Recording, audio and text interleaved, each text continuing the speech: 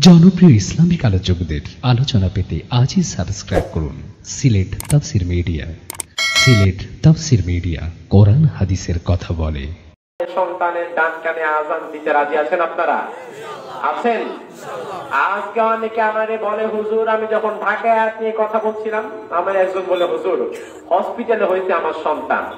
এখন আমি আজান দিতে যাব। এমন সময় এক ডাক্তার আমার বলে, কি করেন? আমি বলে, আজান দিচ্ছি। আরে মিয়া আজান দিচ্ছেন, এটা হচ্ছে ইন্টেন্সিভ কেয়ার এখানে আপনি যে জোরে জোরে আজান দিবেন, শব্দ দূষণ হবে। আমাদেরও ক্ষতি, আপনার বাচ্চারও ক্ষতি। আপনারা বলেন, আজান দিলে বাচ্চার ক্ষতি হবে? বাচ্চার ক্ষতি হবে? এখন নাকি অনেক জায়গায় ভদ্র ফ্যামিলিতে হাই সোসাইটিতে নাকি বাচ্চার কেন আজান দেওয়া বন্ধ হয়ে গিয়েছে? আমি বলি, তোমরা যারা ভদ্রতা দেখিয়ে তোমাদের বাচ্চার কেন আজান দেওয়া বন্ধ করে দিয়েছ তোমরা মূলত ভদ্র নয়, তোমরাই হচ্ছে এই যুগের সবচেয়ে বড় অভদ্র। তোমাদের সন্তানরাই বড় হয়ে ভদ্রতা শিখবে না, ঐশীর মতো সময় পেলে তোমাদের জবাই করে দিবে। শয়তান ধোকা দেওয়ার পরে তোমাদের সন্তানদেরকে তোমরা আজান দাও নাই, আল্লাহর বরত্বের ঘোষণা দাও নাই। যেই সন্তান আল্লাহ চিনে না, সে তো তার বাপ্পারেও চিনবে না। এই জন্য দেখা যায় অনেক বড় বড় শিক্ষিত জাহাঙ্গীর ইউনিভার্সিটি আমার বাসার পাশে সেটা। জাহাঙ্গীর ইউনিভার্সিটির একজন প্রফেসর, তিনি তার সারা জীবনের আয় রোজগার সব ব্যয় করে দিয়েছেন তার ছেলে মেয়েকে বড় করার জন্য।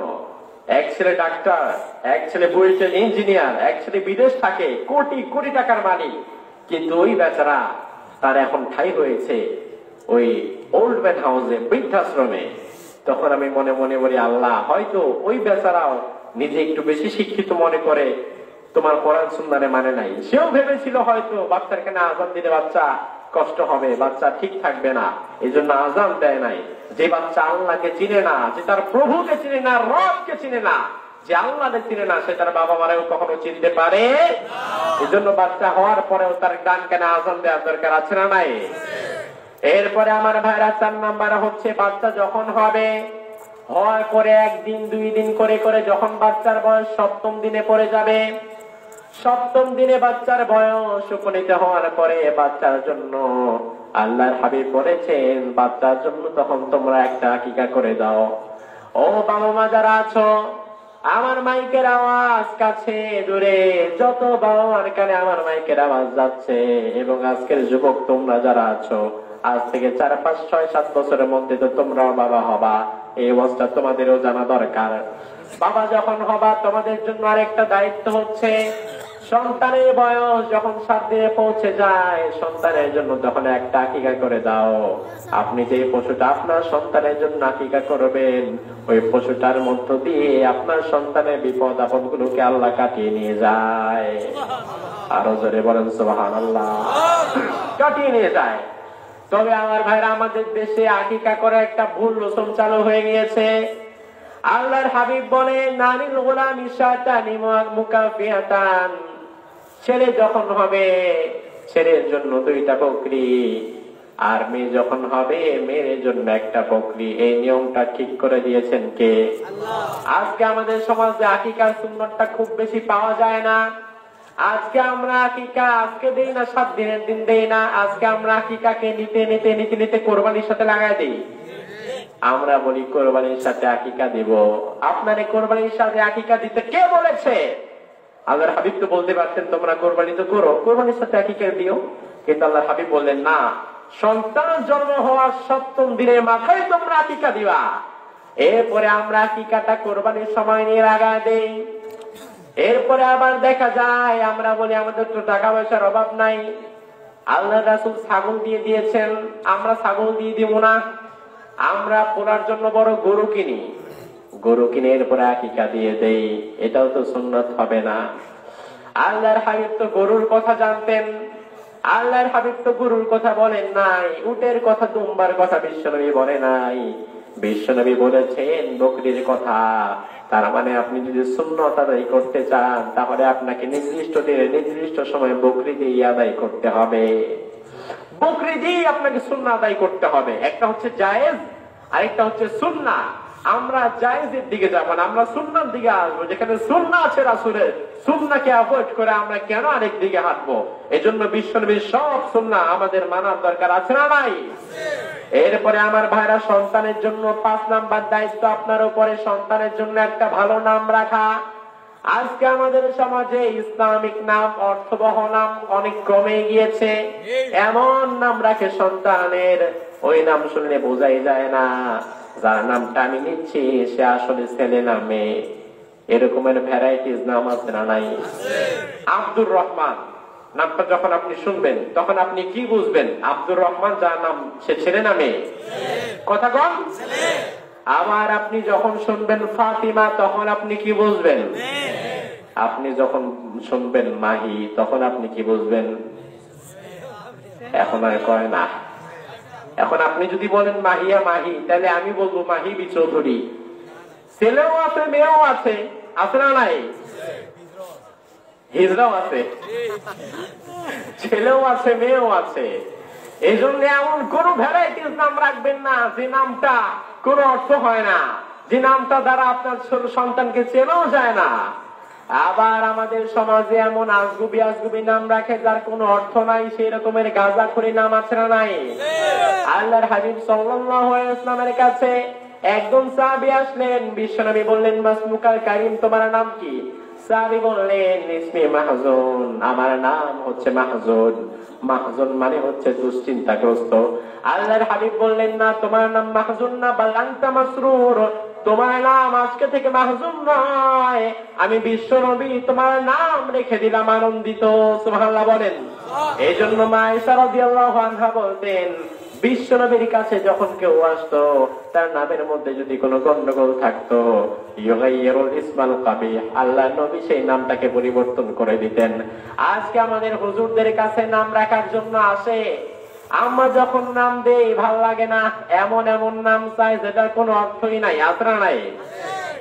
আমার এক হুজুর, আমার টিচার তার কাছ থেকে শুনেছি, অনেক আগের কথা, তিনি তখন গুলশানে একটা জায়গায় নামাজ পড়াতেন।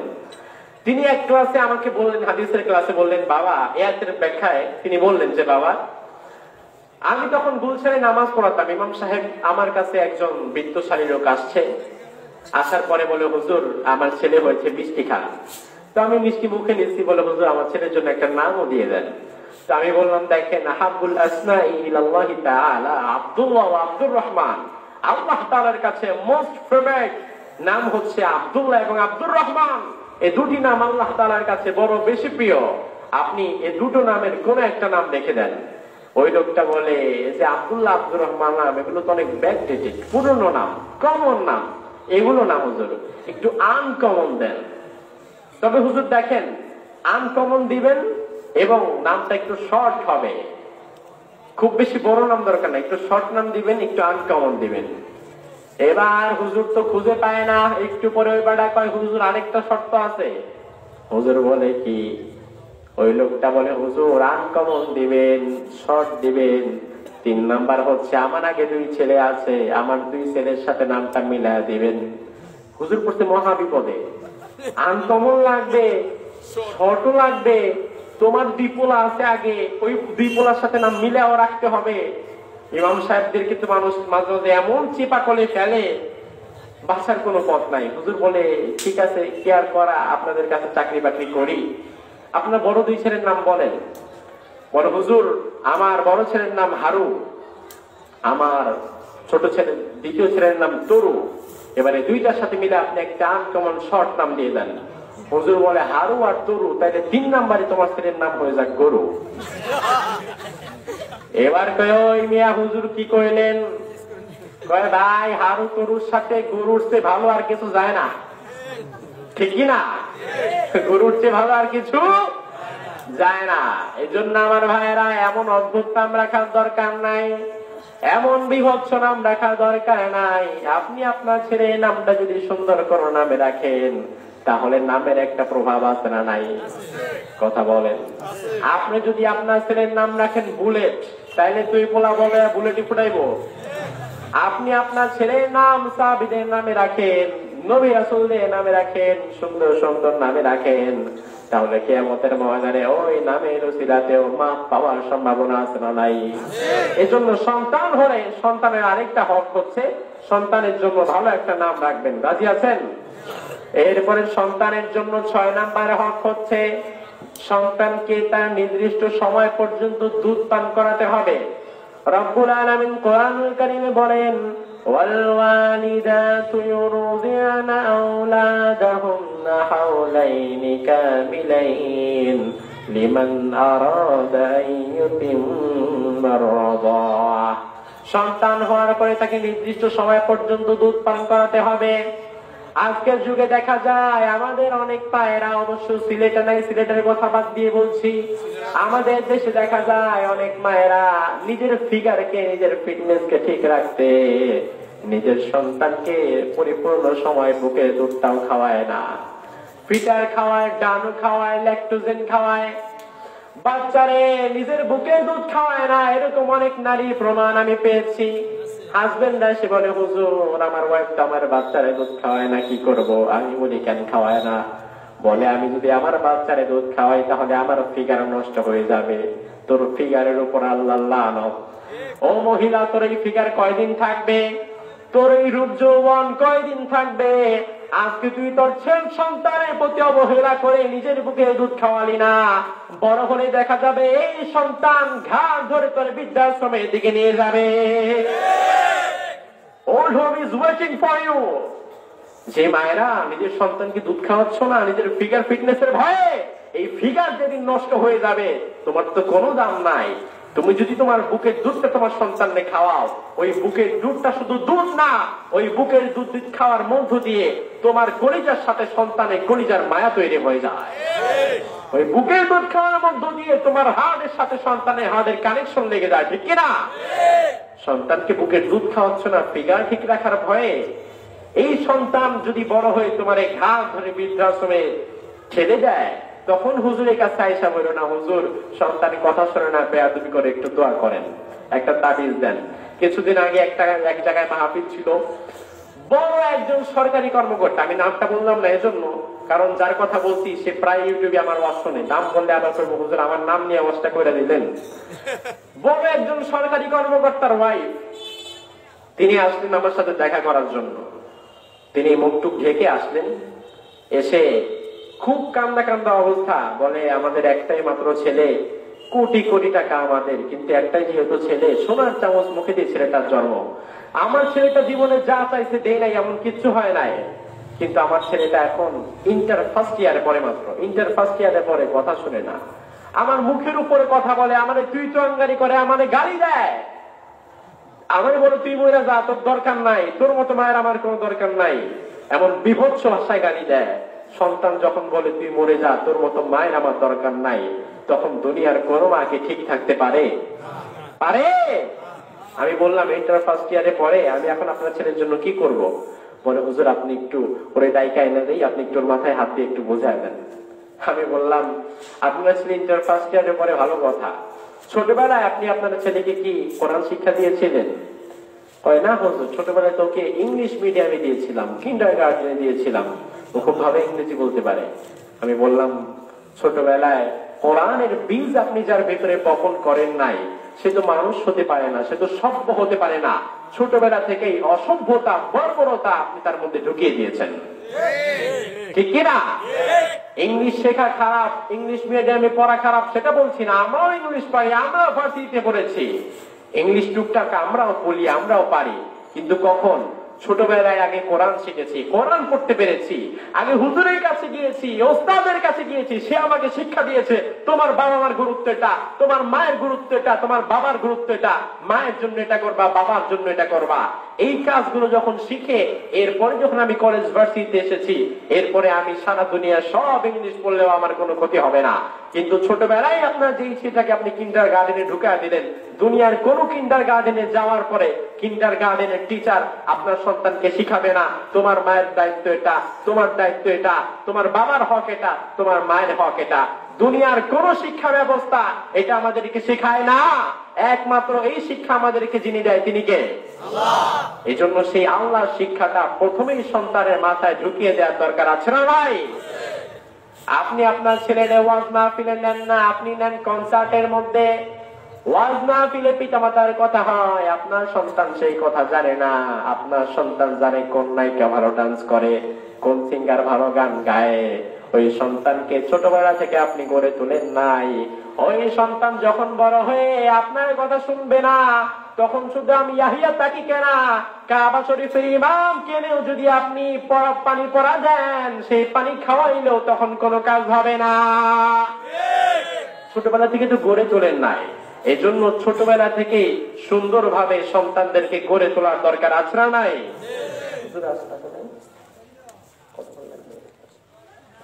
আমার ভাইয়েরা, এরপরে সাত নাম্বার দায়িত্ব হচ্ছে, সন্তান যখন একটু একটু কথা শিখবে, সন্তান যখন ভাঙা ভাঙা বাংলায় আপনাকে আব্বা, আম্মা বলে ডাকতে শিখবে, সন্তানের মুখে আপনি তখন প্রথম আল্লাহ নামটা শিখিয়ে দেন। সন্তান কাদার পরে সন্তানকে কোলে নেন। কোলে নিয়ে আপনি বসে বসে আল্লাহ আল্লাহ আল্লাহ জিকিরটা তার কানের মধ্যে শোনা দেন। ওই বাচ্চা শিশুটা আপনার চেহারার দিকে আপনার ঠোঁটের দিকে তাকিয়ে থাকবে। ওই বাচ্চা শিশুটা যখন আপনার দিকে তাকাবে, বাচ্চা শিশুটা বলতে চাইবে, আব্বা, আপনি আপনার শিশুটাকে শিখাবেন, বাবা তুই বল আল্লাহ। আপনি প্রথম তাকে আল্লাহর কথা শিখিয়ে দেন, আল্লাহর কালাম শিখিয়ে দেন, আল্লাহর পরিচয় দিয়ে দেন। এই সন্তানের মুখে আল্লাহ তাআলার নামটা প্রথমে উঠে যায়। ওই সন্তানের মুখটাকে পবিত্র করে দেন কে? এজন্য সবার আগে সন্তানকে আমাদের রবের পরিচয় দিতে হবে। সবার আগে রবের পরিচয় দেওয়ার দরকার আছে না নাই? এরপরে আট নাম্বার হচ্ছে একটা গুরুত্বপূর্ণ মাসালা। সন্তান যখন এক বছর দুই বছর করতে করতে সাত বছরের সময় উপনীত হয়ে যায়। সাত বছর সন্তানের বয়স হয়ে যাওয়ার পরে আল্লাহর হাবিব বললেন মুরু আওলাদাকুম বিসসালাহ ওয়া হুম আবনাউ সাবঈ সিনিন واضربوهم عليها وهم أبناء عشر سنين وفرقوا بينهم بالمضاجع তোমার সন্তান যখন এক দুই বছর করে করে সাত বছরে চলে যাবে তখন তুমি তোমার সন্তানকে নামাজের জন্য আদেশ দাও নামাজের জন্য আদেশ দাও তোমার সাথে সাথে মাঝে মাঝে গিয়ে তাকে নামাজ পড়াও ফজরে নেওয়ার দরকার নাই জোহরে নিয়ে যাও আসরে নেওয়ার দরকার নাই মাগরিবে নিয়ে যাও। এক ওয়াক্ত পড়াও দুই তিন ওয়াক্ত না পড়াও সমস্যা নাই। সাত বছরের সময় আস্তে আস্তে করে তাকে তুমি মসজিদ মুখী করে দাও। আর আমাদের সমাজে অনেক মসজিদে লেখা থাকে মসজিদে বাচ্চাদেরকে আনা যাবে না বাচ্চাদেরকে মসজিদে আনা নিষেধ। এরকমের কথা বোধ হয় বাংলাদেশে অনেক মসজিদে আছে না নাই? বাচ্চাদেরকে মসজিদে আনা যাবে না। এমন জায়গায় দেখা আছে, আমার কাছে এক মুরব্বী এসে বলছে, হুজুর, আমি আমার নাতিটারে নিয়ে, ছোট্ট নাতিটারে নিয়ে মসজিদে গেছি। আমার নাতিটা নামাজের মধ্যে একটু হেসে উঠছে, একটু আওয়াজ করছে। এটা কেন করল? সেজন্য নামাজ শেষ করার পরে মুসল্লিরা আমার সাথে ঝগড়া লাগাই দিছে। আহা! এই যে ছোট্ট বাচ্চা, তাকে আপনি মসজিদে নিচ্ছেন। পাঁচ, চার, পাঁচ বছরের যে বাচ্চাটা মসজিদে যাচ্ছে যে সময়টুকু আপনি তাকে মসজিদে নিয়ে যাচ্ছেন, ওই সময়টুকু সে যদি মসজিদে না যায়, বাসায় থাকে, তাহলে বাসায় বসে কি করবে? হয়তো মোবাইলে গেমস খেলবে, মোবাইলে ভিডিও দেখবে, কার্টুন দেখবে। কিন্তু ওই সময়টায় যদি আপনি তাকে মসজিদে নিয়ে যান, আমরা কীভাবে নামাজ করি কীভাবে রুকু করি, সিজদা করি, কীভাবে সারিবদ্ধ ভাবে দাঁড়িয়ে থাকি, কীভাবে ইমাম সাহেব সূরা ফাতিহা পড়ে, সে আস্তে আস্তে সব শিখবে। প্রথম দিন একটু দুষ্টামি করবে, দ্বিতীয় দিন করবে। একটু একটু একটু হয়তো সে মসজিদ দুষ্টামি করবে। এই যে বাচ্চারা দুষ্টামি করে মসজিদে, এই দুষ্টামি করাটা বাচ্চাদের জন্যই যায়। এই দুষ্টমি করাটা, এই দুষ্টমি করাটাই হচ্ছে বাচ্চাদের একটা সৌন্দর্য। ঠিক কিনা? একটা বাচ্চা, সে একটু লাভ দিবে, সে একটু হাসবে, দুষ্টামি করবে, এটাই হচ্ছে বাচ্চাদের সৌন্দর্য। বুইরা মানুষ যদি লাফালাফি করে, এটা ভালো দেখায়? বুইরা মানুষ যদি দুষ্টামি করে, লাফালাফি করে মসজিদের মধ্যে, মানুষ পাগল। সৌন্দর্যটাই হচ্ছে বাচ্চাদের দুষ্টুমি করা। সে একটু দুষ্টুমি করবে, এই দুষ্টুমির মধ্য দিয়ে সে তো নামাজ শিখে যাবে। আপনি বললেন, বাচ্চাদেরকে মসজিদে আনবেন না। এই বাচ্চাগুলোকে আপনি যখন মোড় থেকে ধমক দিয়ে বের করে দেন একটু দুষ্টুমির জন্য, এই বাচ্চা বলে, আর জিন্দিগি তো মসজিদে আসব না। ঠিক না? এই জন্য বাচ্চারা মসজিদে আসলে বের করে দিয়েন না, ধমক দিয়েন না। বরং মসজিদে মসজিদে চকলেট রাখার, ক্যান্ডি রাখার ব্যবস্থা করেন। যেই বাচ্চা মসজিদে আসবে, তাকে চকলেট দেন যেন পরবর্তী নামাজে সে আবার চকলেটের জন্য হলেও আসে। ঠিক কিনা? আমার ভাইরা আমরা ছোটবেলায় যখন নামাজ পড়তে চাইতাম, নামাজের হুজুর আমাদেরকে মাঝে মাঝে পিটিয়ে পিটিয়ে নামাজ পড়াতো। আমরা অনেকে তখন মনে মনে বলতাম, নামাজ আল্লাহর কাজ, পিটায় পিটায় পড়ায় কেন? পরবর্তীতে বুঝলাম পিটায় পিটায় নামাজ পড়ার সময় ছিল তখন। তখন পিটিয়ে পিটিয়ে নামাজের দিকে আমাদেরকে ধাবিত করতো। যখন একটু বয়স হয়ে গেল, তখন আর পিটানোর দরকার হয় না। তখন একা একাই নামাজের দিকে আমরা চলে যেতাম। বাচ্চাদেরকে আগে একটু নেন দুষ্টামি করবে। বাচ্চার বয়স যখন আস্তে আস্তে একটু বেড়ে যাবে, বাচ্চা তখন আর দুষ্টামি করবে না। বাচ্চা তখন আপনার মতো সিরিয়াস হয়ে নামাজের মুসল্লায় দাঁড়াবে। আর আপনি আপনার সন্তানটাকে নামাজের দিকে নিলেন না। আপনি আপনার নাতিটাকে নামাজের দিকে নিলেন না। ওই নাতিটার বয়স, ওই সন্তানের বয়স যখন বারো বছর, তেরো বছর হয়ে যাবে, যখন তাকে প্রথম মসজিদে নিবেন, সে তখন নামাজ কেমনে পড়ে সেটাই ভালো করে জানে না। সুরায় ফাতেহাই বলতে পারবে না। অথচ আপনি যদি আপনার বাচ্চাটাকে ছোট থেকেই মসজিদে নিয়ে যান ইমাম সাহেব প্রত্যেক রাখাতে সুরায় ফাতেহা তেলাওয়াত করবে। ইমামের পেছনে একদিন দুই দিন এক মাস দুই মাস এক বছর শোনা শোনার পরে সুরায় ফাতেহাটাকে ওই বাচ্চার মনের মধ্যে মুখস্থ করিয়ে দিবেন কে? এজন্য বাচ্চাদের মসজিদে নেওয়ার দরকার আছে না নাই? আল্লাহর হাবিব বলেন সাত বছর বয়সে নামাজের কথা বলো আর দশ বছর হয়ে গেল নামাজের জন্য একটু একটু মারো। আর সন্তান যখন দশ বছরে উপনীত হয়ে যায় তখন সন্তানের সাথে তোমাদের বিছানাটা পৃথক করে দাও। একটা গুরুত্বপূর্ণ মাসালা। অনেকে সন্তানের বয়স দশ এগারো বারো তেরো হয়ে যায়। একটা সন্তান তো বেশি ভালোবাসা। এখনও এই সন্তানটারে একই খাতে স্বামী স্ত্রী একই খাতে সন্তান। এরকম আছে না নাই? আপনার যদি সামর্থ্য না থাকে আরেকটা ঘরে সন্তানকে রাখার তাহলে ভিন্ন কথা। আপনার সামর্থ্য আছে পাশের ঘরটায় সন্তানকে রাখার, তবুও আপনি ভালোবেসে সন্তানকে সরাচ্ছেন না, তবে কিন্তু হবে না। তাহলে হারাম। আপনার সন্তানের বয়স দশ বছর হয়েছে, এবার আপনার সন্তান আস্তে আস্তে অনেক কিছু বুঝতে শিখবে। আপনি আর দেরি করেন না। পিতা মাতা এক ঘরে থাকেন আর সন্তানকে ডিফারেন্ট করে দেন, আলাদা করে দেন। সেটার কথা বলেছেন কে? এজন্য মনে থাকবে, সন্তানকে দশ বছর যখন হয়ে যাবে, তখন সামর্থ্য থাকলে মেহরবানি করে সন্তানকে আলাদা করে দিবেন। আল্লাহর রাসুল সেটাই বলেছেন। আর বিশ্বনবী যা বলেছেন, প্রত্যেকটা কথার মধ্যে বিজ্ঞান আছে না নাই? আল্লাহর হাবিব এমন কোন কথা বলেন নাই। ইসলাম এমন কত কোন কথা আপনাকে বলবে না। যে কথাটা আনসাইন্টিফিক বিজ্ঞানিক না। যেই কথাটার দ্বারা আপনার খারাপ হবে। অমঙ্গল হবে। এরকম কোন কথা বিশ্বনবী কখনো আমাদেরকে বলেন নাই। এরপরে আমার ভাইরা দশ নাম্বার হচ্ছে, নয় নাম্বার হচ্ছে সন্তানদের মাঝে ইনসাফ করতে হবে। সন্তানদের মাঝে, ছেলে এবং মেয়ের মাঝে আমরা ইনসাফ করতে পারি না। অনেক সময় দেখা যায়, হাজি সাহেব হজ করে এসেছে। সম্পত্তি যখন বন্টন হবে, ছেলের হক, মেয়ের হক ঠিক মতো আদায় করে না। মেয়েটারে ঠিক মতো হক দেয় না, মেয়েটারে সব ঠিক মতো আদায় করে করে জায়গা জমি টাকা পয়সা দেয় না। মেয়ের হকটা মেরে ছেলেটাকে দিয়ে দেয়। আর মেয়েটারে বলে, মা, তোর জন্য দোয়া করে দিলাম, তুই সুখী হয়ে যা। মেয়েটারে মেয়ের হক বুঝিয়ে দেয় না, ছেলেটারে দিয়ে দেয়। ইসলাম বলে, তোমার ছেলে যা পাবে, ছেলে যদি দুই ভাগ পায়, মেয়েটারে বঞ্চিত করবা না, মেয়েটারেও এক ভাগ দিবা। আজকে আমাদের সমাজে অনেক বড় বড় হাতি সাহেবকে দেখা যায়। ছেলের হক, মেয়ের হকের মধ্যে এসে সে গন্ডগোল করে ফেলে। হজ যাবে হজ যাওয়ার আগে মেয়েটারে কাছে ডাকে। ডেকে বলে, মা, আমি হজে চলে যাব। তোমাদের ভাই বোনদের মধ্যে জায়গা জমি যা আছে বন্টন করে দিলাম। তোমার ভাইরে দিয়ে দিলাম। তোমাদের কিছু দিতে পারলাম না। তোমার কাছে বাইতুল্লাহ গিয়ে দোয়া করে আসব, মা, তুমি সুখে থাকো। ওই হাজি সাহেব মেয়ের উপরে জুলুম করলেন। এরপরে যখন হজে গেলেন, হজে যাওয়ার পরে হাজি সাহেব আল্লাহর কাছে যখন দোয়া করবেন, আল্লাহ রাব্বুল আলামিন কোন জালেমের দোয়াকে আল্লাহ কবুল করে না। এই জন্য হাজি সাহেব যারা আছেন, বাবা যারা আছেন, ছেলে এবং মেয়ে সবাইকে সবার প্রাপ্যটা বুঝিয়ে দিবেন। ইসলাম ছেলে এবং মেয়েকে সঠিক অধিকার দিয়েছে, নাকি মেয়েদেরকে কম দিয়েছে? মেয়েদেরকে কম দিছে? আমাদের সমাজে অনেক বুদ্ধিজীবী মহিলারা তারা মহিলাদেরকে বলে সরল মনা নারীদেরকে বলে দেখো ইসলাম মাইনো না। কেন? ইসলাম তোমাদেরকে ঠকাইছে। ছেলেদের দুই ভাগ দিছে তোমার এক ভাগ দিছে। ঠকাইছে না? হ্যাঁ ঠকাইছে। মেয়ে বলে হ্যাঁ ঠকাইছে। আমি বলি আমার মায়েরা বলে না।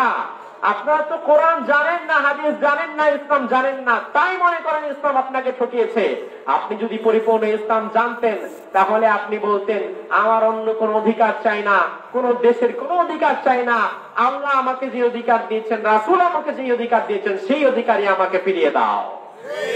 ঠিক কিনা ইসলাম কখনো মেয়েরে ঠকায়? বরং ইসলাম ছেলেদের চাইতে মেয়েদের একটু গুরুত্ব আছে না নাই?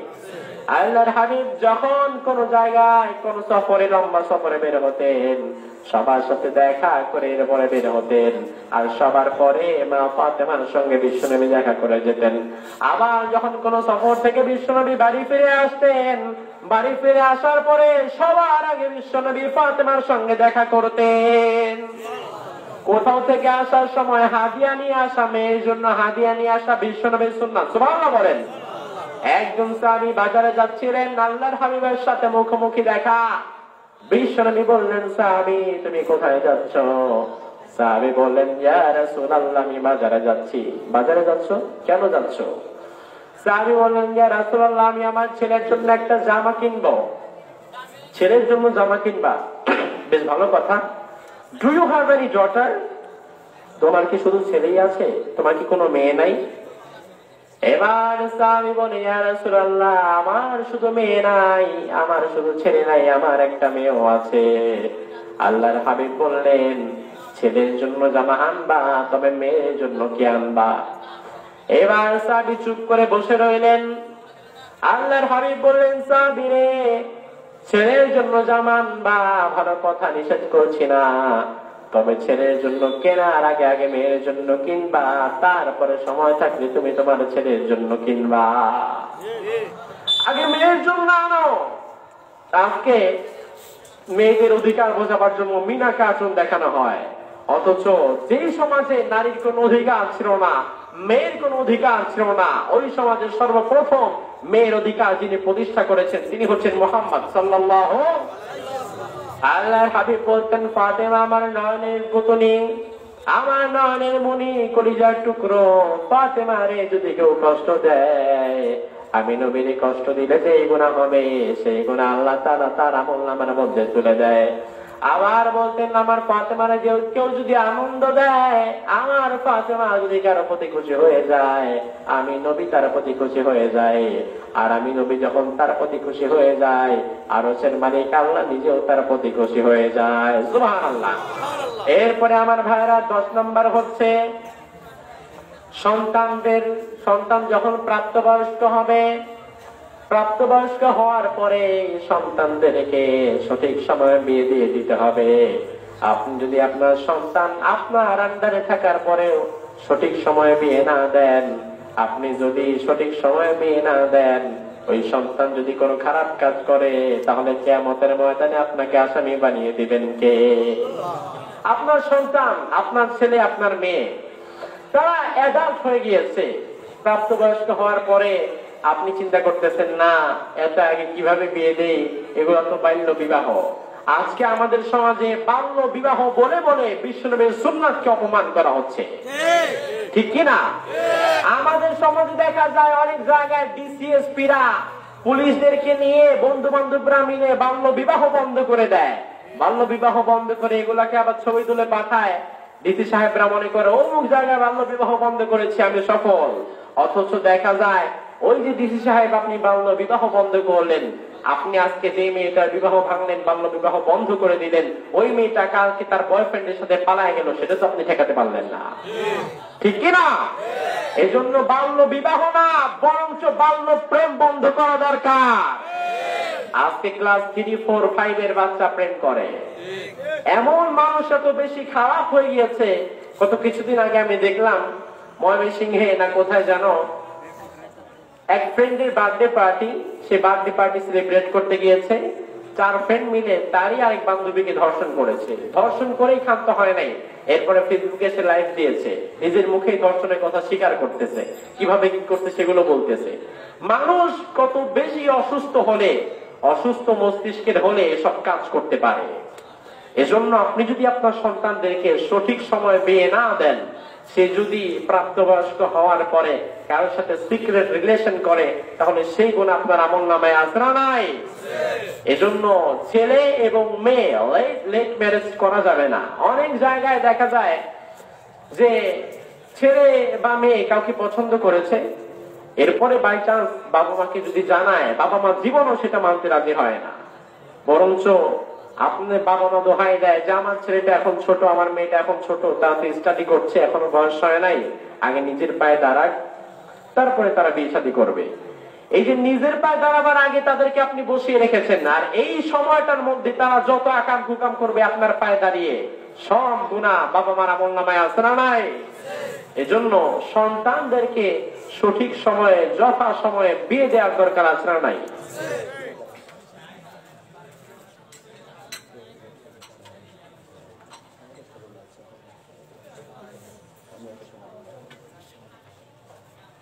প্রিয় ভাইরা আমার, এজন্য সন্তানের প্রতি কি হক, সেগুলো আগে পিতামাতার জানার দরকার আছে না নাই?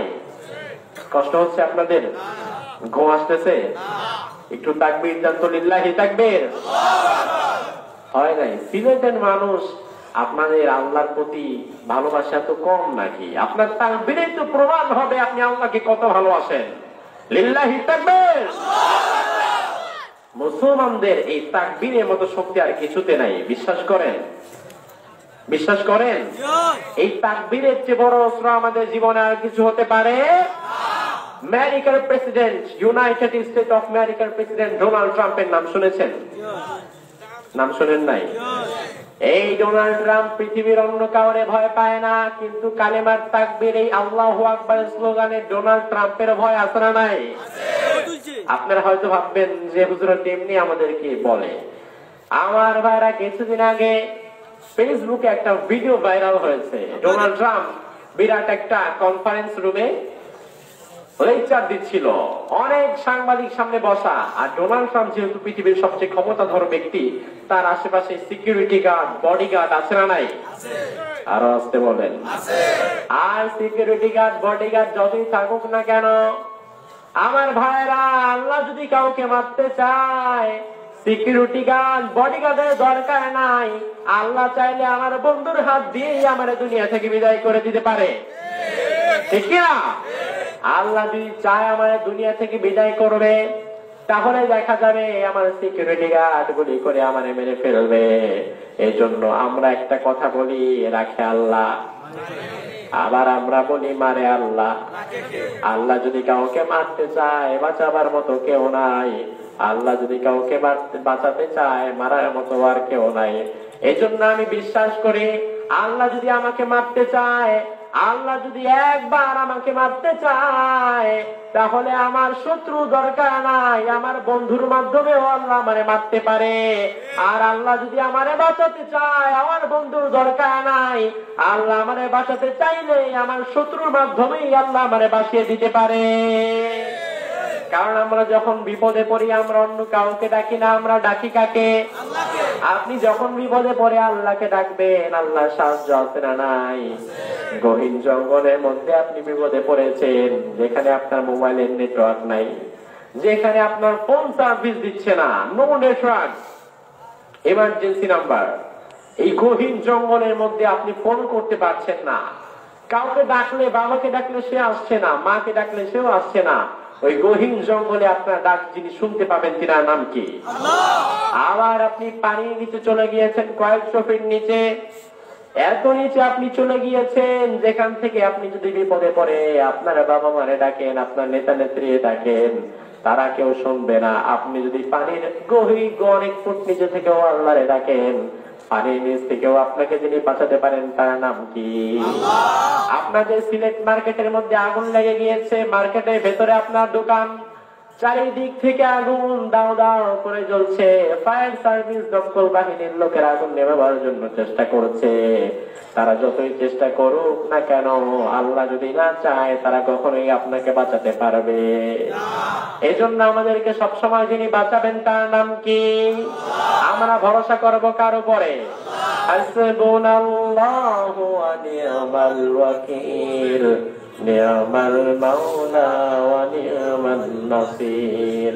তাআলা আমাদেরকে, আমাদের নেক্সট জেনারেশন যারা আসবে, আমাদের সন্তানাদি যাদের হবে এবং হয়েছে, প্রত্যেকের সন্তানদেরকে দুনিয়াতে এমন সন্তান আল্লাহ তালা আমাদেরকে দিক যেই সন্তানের দ্বারা আমরা দুনিয়াতে সম্মানিত হব এবং যেই সন্তানের দ্বারা আমরা কেমতের ময়দানে নাজাদ পেয়ে যাব। বলে না আমেন। এই যে এত সুন্দর একটি মাহফিল হয়েছে এতে আপনারা খুশি না বেজার? সবাই খুশি? সবাই খুশি? এই মাহফিলটা শুধু আজকে না এই মাহফিলটা যতদিন পর্যন্ত আপনাদের এই গ্রামটা আছে প্রত্যেক বছর এই মাহফিলটা হোক এটা কি আপনারা চান? সবাই চান? শুধু চাইলেই হবে না, এই মাহফিলটার জন্য একটু সাহায্য সহযোগিতা করার দরকার আছে নাই? আমি কখনোই কালেকশন করি না, তবে আমার প্রিয় ভাই ফখরুদ্দিন ভাই, তিনি আমার সাথে যোগাযোগ মেনটেন করেছেন। তার মাধ্যমে এখানে আমার আশা, আমার প্রিয় ভাইয়ের অনুরোধে শুধু আপনাদের কাছে কয়েকটা বিষয়ের জন্য আরজি পেশ করে যাব। আপনারা আশা করি মাহফিলের জন্য, আল্লাহর কোরআনের বাগানের জন্য স্বতঃস্ফূর্তভাবে অংশগ্রহণ করবেন। আগামী বছর যে মাহফিলটা হবে। এটা যেটা হয়েছে হয়ে গিয়েছে, এখানে কিছু দেওয়ার দরকার নাই। আগামী বছর যে মাহফিলটা হবে, সেই মাহফিলের মাইক দরকার, প্যান্ডেল দরকার এবং পোস্টার দরকার। মাইক আট দশটা, দশ বারোটা, হয়তো তারও কম হতে পারে, যেহেতু আপনার খুব বেশি ছড়ান নাই। এই অল্প কয়টা মাইক একজনে কয়েক হাজার পোস্টার করে দিবেন, আর হচ্ছে প্যান্ডেল। এই মাহফিলের মাইক, পোস্টার এবং প্যান্ডেলের জন্য আপনারা আপনাদেরকে এগিয়ে